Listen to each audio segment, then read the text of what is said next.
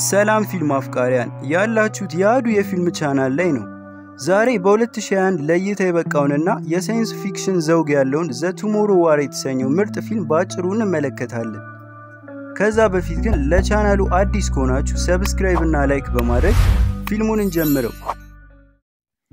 ፊልሙ ሲጀምር ከ28 ዓመታት በፊት ላይ ነበር። ጄምስ በአንድ high school ትምህርት ቤት ውስጥ የባዮሎጂ መምህር ሲሆን በዛው ዕለት አስተምሮ ከጨረሰ በኋላ ወደ ቤቱ ወረቀትና የተለያዩ መጠጦችን ይዞ ወደ ቤቱ ሲገባ ትንሿ ልጁ ሚውሪ ሮጣ መጥታ የያዘውን ወደ ኩሽና ለማስገባት እቃውን ትቀበለዋለች። የጄምስን ቤት የሞላው ሰው በሙሉ የ Christmas በዓልን በማክበር ላይ ናቸው። እንዲሁም በዕለቱ የሚጠበቀውን የሀገራቸውን የዓለም ዋንጫ ለመመልከት በመጠባበቅ ላይም ነበሩ።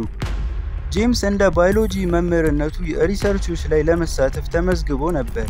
ነገር ግን የትምህርት የቤቱ department ከሱ የተሻለ እውቀት ያለው ሰው እንደቀጠሩ ደውለው ሲነግሩት በንዴት የያዘውን ወረቀት ከቆሻሻ ማስቀመጫው ጋር እያጋጨ መጮህ ጀመረ።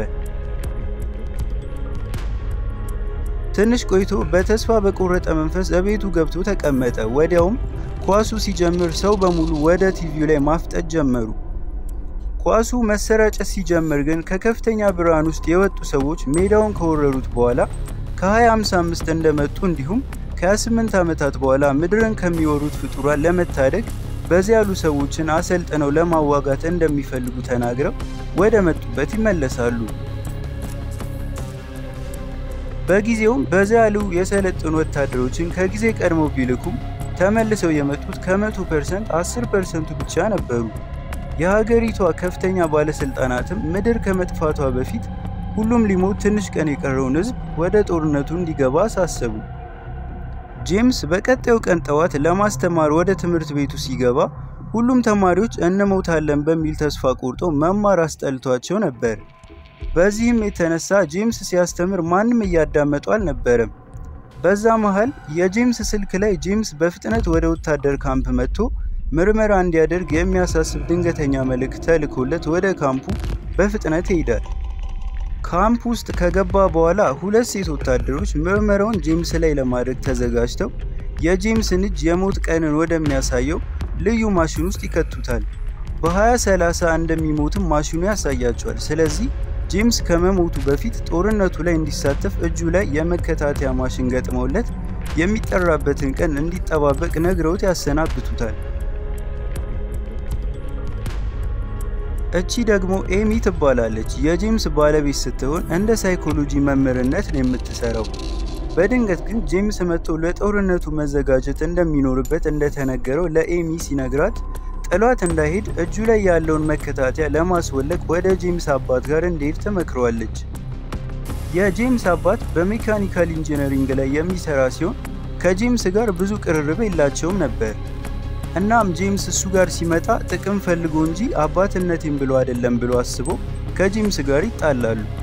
በዚህም ጄምስ ተናዶ ወደ ጦርነቱ ለመሄድ ሚስቱንና ልጁን ተሰናብቶ ካምፕ ገባ። በካምፕ ውስጥ እንደሱ አይነት ሰዎች ነበሩ። ከነሱ መሃል ቻርሊ የሚባለውን ቀልደኛ ሰው ተዋወቀ። ሌላው ሰው ደግሞ ከዚህ በፊት ወታደር የነበረው ዶሪን እና የዶሪን ጓደኞችን ተዋወቁ። ለጦርነቱ የሚጠቅማቸውን ስልቶች ተለማምደው እንደጨረሱ በድንገት ድንገተኛ አላርሙ መጮህ ጀመረና ሁሉንም ሰው ወደ ጦርነቱ ለማስገባት ወታደሮቹ ሰዎቹን ማጣደፍ ጀመሩ። ወዲያው ከጊዜ ቀድመው እንዲሄዱ የሚያስችላቸውን ማሽን ውስጥ ገቡ እና ወደ 2055 ተወሰዱ። በመሃል ግን ማሽኑ ተበላሽቶ አብዛኛው ሰው ከላይ መፈጥፈጥ ጀምሮ ብዙ ሰዎች ሞቱ። ጄምስ እና ቻርሊ ግን እድለኛ ሆነው በአንድ ፎቅ ላይ በሚገኝ የውሃ ገንዳ ውስጥ ወደቁ። ወታደሮቹ የመረጧቸውን ሰዎች በመገናኛቸው እያናገሩ ምን ማድረግ እንደሚኖርባቸው ካሳሰቧቸው በኋላ ጄምስ ያሉትን ሰዎች ሽፋን እንዲሰጡና የተወሰኑ ሰዎች ከፊት እንዲሆኑ ካዘዘ በኋላ አስፈላጊ ቁሳቁሶችን ለመውሰድ ወደ research ተቋሙ ሄዱ። በመንገዳቸው ላይ ግን ብዙ የሞቱ ወታደሮችን ሲመለከቱ አብዛኞቹ በጣም ደነገጡ። research ተቋም ውስጥ ከገቡ በኋላ በጥንቃቄ በመጓዝ ላይ ያሉ በአውሬዎቹ የተገደሉትን ሰዎች ተንጠልጥለው አዩ።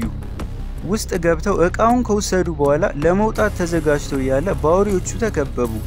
ወዲያውም በሰዎቹ ተኩስ ተከፈተ። ነገር ግን አውሬዎቹ ላይ ያለው ቆዳ ጠንካራ ስለነበር ጥይቱ ሊጎዳቸው ስላልቻለ ሰዎቹ ማፈግፈግ ጀምረው ሲሸሹ አውሬዎቹ ደግሞ ሌሎቹን መጣራት ያዙ። እነ ጄምስ ከላብራቶሪ ወጥተው ለማምለጥ ሲሞክሩ ግን አውሬዎቹ ቁጥራቸው ስለጨመረ ወታደሮቹ የጀት ጥቃት alien ኦቹ ላይ ማድረስ ጀመሩ። ነገር ግን ከጄምስ እና ከዶሪን ውጪ አብዛኞቹ ቀልጣፋ ስላልነበሩ በፍንዳታው አለቁ። ከሰዓታት በኋላ ጄምስ ራሱን ከሳተበት ሲነቃ አንድ ለየት ያለ የወታደር ካምፕ ውስጥ ራሱን አገኘው። ወደ ውጪ ከወጣ በኋላ commander ሚውሪንን ይመለከታታል። ጄምስ ልጁ እንደሆነች አያውቅም። ሚውሪን ግን እንዲያስታውስ ስታደርገው ልጁ መሆኗን እየተጠራጠረ አመነ።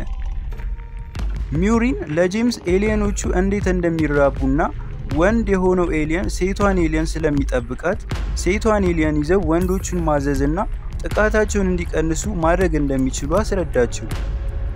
ስለዚህም ጄምስ ሴቷን alien ለመያዝ እንዲረዳት እንደምትፈልግ ካዘዘችው በኋላ ትጥቃቸውን ይዘው ወደ ቦታው መሄድ ጀመሩ።